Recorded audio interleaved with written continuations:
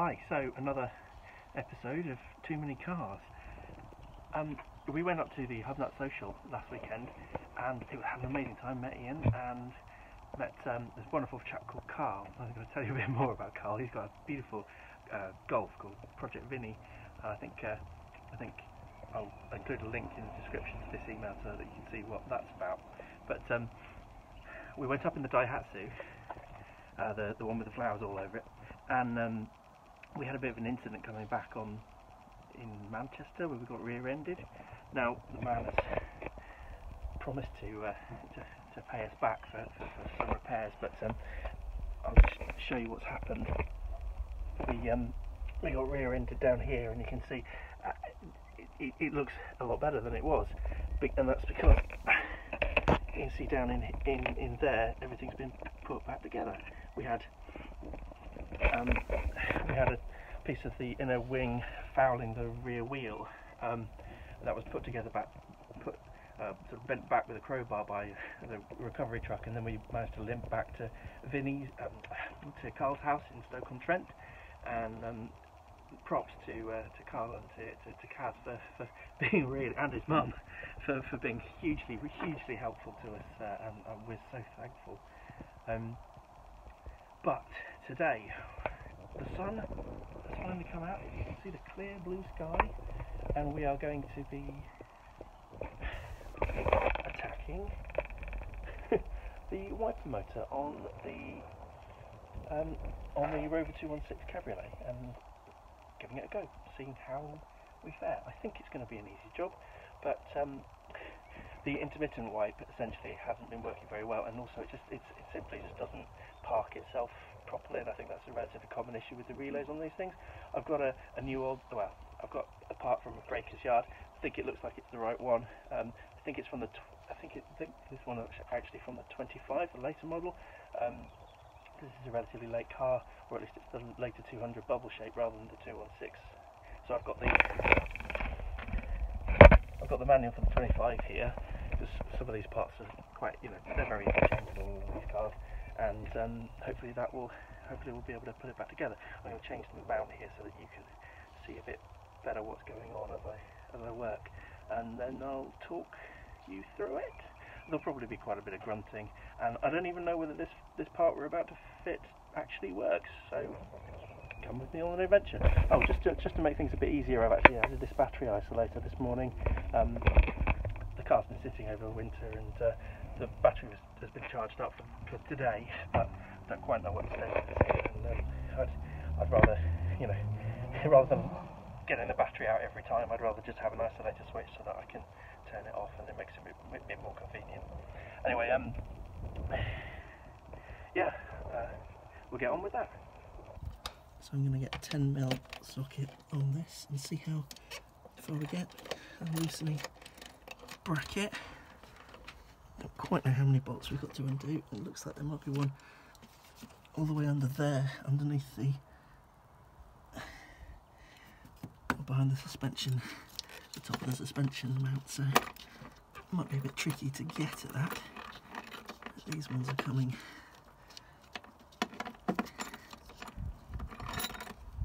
relatively easily.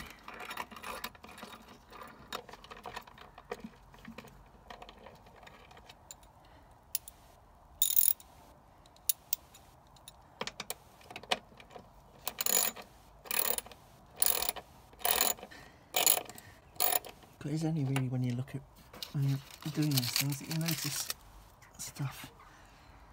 You can see a bit of rust developing down there what looks like the engine mounts, so that might be an issue in the future. Oh, it's fun, isn't it? I just love how much more space there is to work in this than in the Metro. It's, it's quite quite nice to be able to see everything.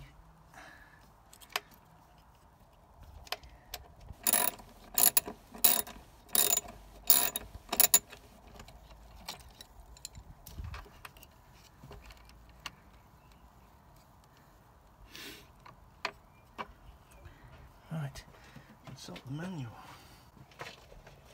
So apparently I need to pull this back to get access to the wiper linkage.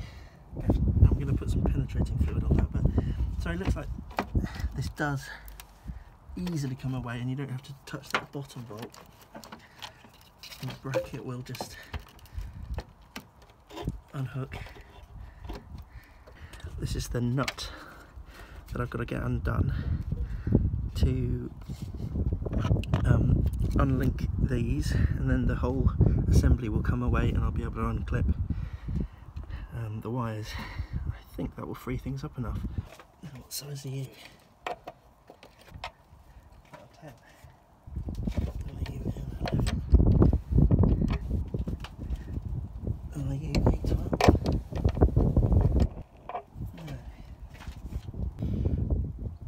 So we have got that out with a half inch um, socket or a half inch spanner. And as you can see the bulkhead down there is the access isn't great. So what I've done is what I did is I did it by hand with both fingers just to make sure that the, the nut didn't disappear down in through the bulkhead.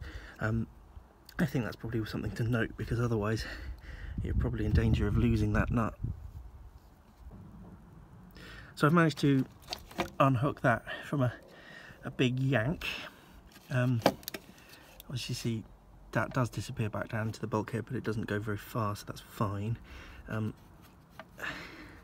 because of the splines on that bolt, it does need, it does get a bit firm. So I, I, did put a bit of penetrating fluid on that and then waited a bit and yanked it out properly and it's it's come okay. Um, then I, don't know if you'll be able to see this, but it's then just a matter of unclipping that.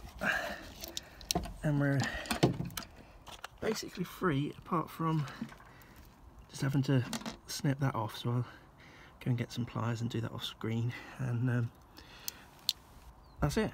I think hopefully it's just a matter of you know assembling that in, this, in well, the reverse of disassembly, hopefully. So it is sort of amazing the amount of crud that's building that builds up here. I've just taken basically a whole forest full of leaves out of this recess here. So just where the, the, the bulkhead is, it just needs a bit of cleaning up, and um, I've poured some penetrating fluid down there, and I hope, hopefully um, I'll just be able to wipe that back and then um, maybe put some sort of some sort of treatment on it as well just to sort of make sure it doesn't um, make sure that the uh, nasty corrosion bug stays away. Um, yeah. And then it's time to put it back together. So if assembly is the reverse of disassembly my priorities have to be linking this back up. That has to be the main priority put that on there. Let's see how much easier it slides on. I think he says. Yeah. Now what I am slightly worried about is the alignment of this damn thing. Because uh, what position is it in? So that's on mounted to the housing. Let's get this damn thing connected up.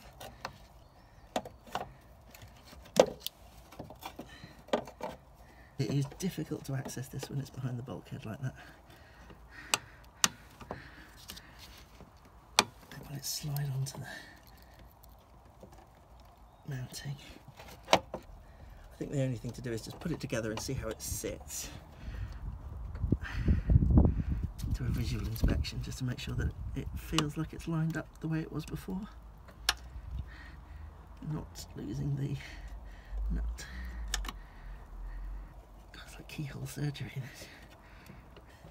That is on-ish. I don't think it's immediately going to slide off. Let's line up the... Yeah, I think that kind of does look roughly right. Tighten this up. See what happens.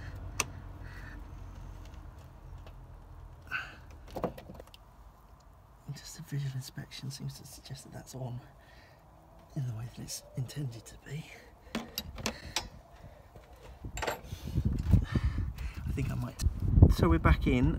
I've been mucking around. I think the camera seems to have dropped out and missed some bits, but um, we're roughly where we were when I started. But we're just trying to get things back in. It's it, it seems important to get the bottom um, the bottom bolt on the bracket secure um, because it was difficult to seat that um, the bracket on these washers.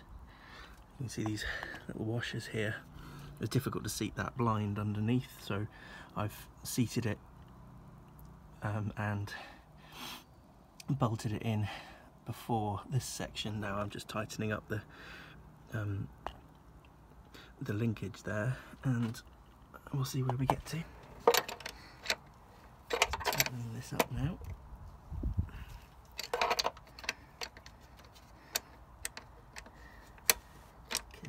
is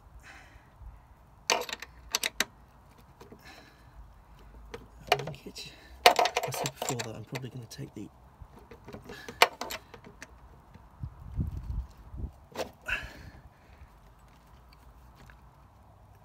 the arms off and run the motor vertically first just to test that we're all in the right position. That I'm going to have to, this here has well this part's become from the scrap heap but they've obviously just cut that so I'm going to have to find a cable tie oh, does not seem to enjoy being seated at that point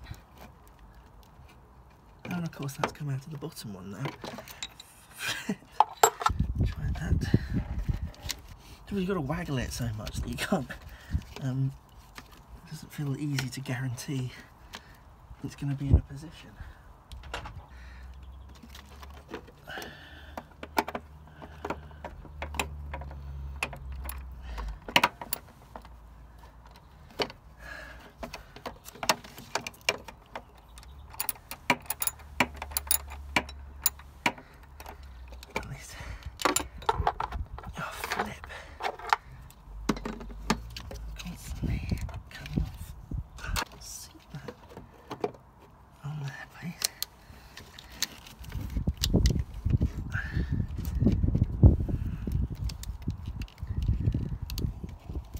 cannot see.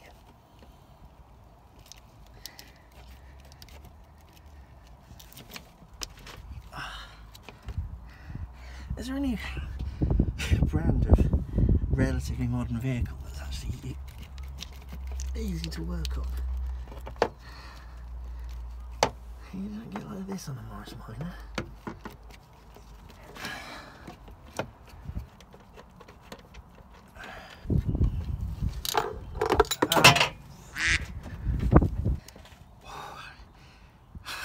third hand situation. You just need a hand to hold while you guide.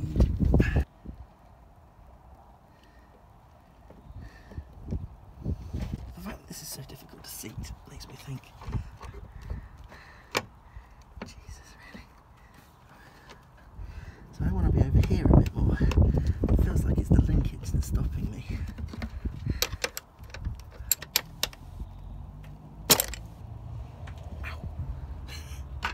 get in the hole, tighten it up. This is not, this is not fun.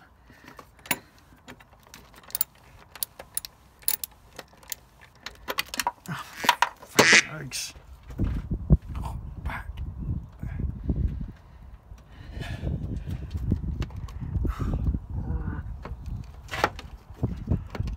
I love taking things apart. It's when they refuse to put go back together again, that's the problem.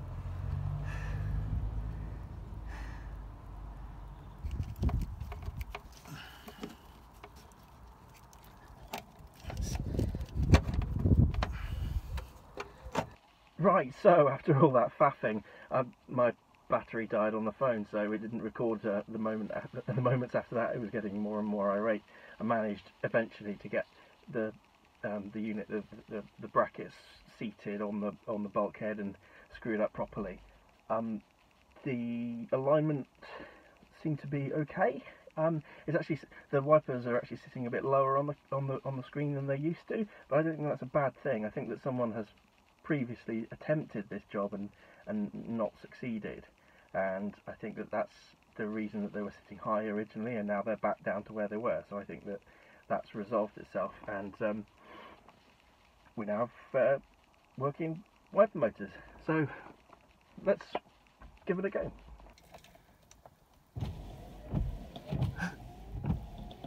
they stop.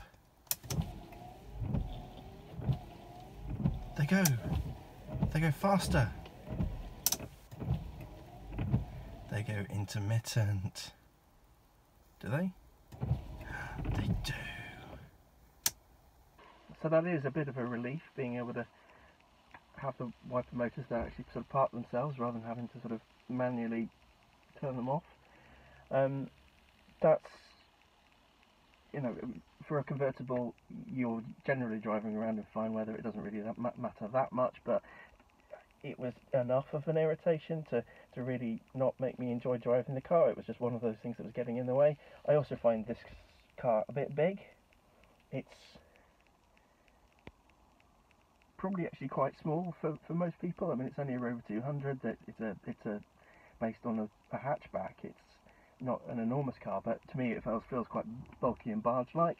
And also the in the process of getting the uh, roof chopped off, there is quite a lot of scuttle shaking. It does wobble a bit, and um, it doesn't feel like a, a, nimble, dynamic little thing like the Metro, for example. Um, but it's it's I, I do I do enjoy the car.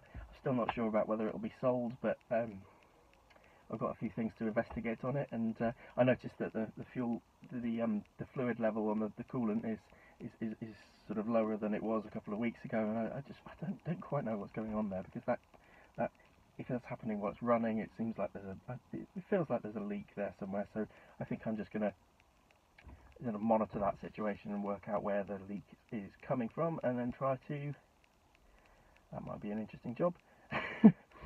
Um, and see how see where that goes. Uh, the car is getting quite mouldy inside, having sat here for so for so long. I've washed the I've washed the cover today, uh, the the hood. Um, hopefully that will stop any sort of mould building up, and I'll put the car cover back on it afterwards. So um, yeah, thank you for watching. Uh, that was a, a, bit strange, but probably the next thing probably will be something to do with the metro. Um, maybe even a drive. Not sure. I've got some issues to sort out with the metro, and I'll probably explain in that video what I mean. Okay. Well, thank you for watching, and take care. Bye. You don't get like this on a Morris Minor.